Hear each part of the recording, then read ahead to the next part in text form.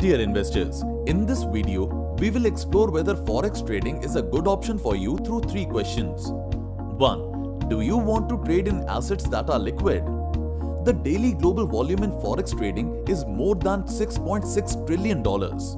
Forex markets में currencies assets होती हैं और ये एसेट्स बहुत लिक्विड होते हैं इसका मतलब है कि मार्केट में हमेशा बहुत बायर्स एंड सेलर्स मिलेंगे दूसरा सवाल क्या आपको दूसरे देशों की इकोनॉमी में इंटरेस्ट है रुपी डॉलर का एक्सचेंज रेट को इंडियन और अमेरिकन इकोनॉमी इन्फ्लुएंस करती है।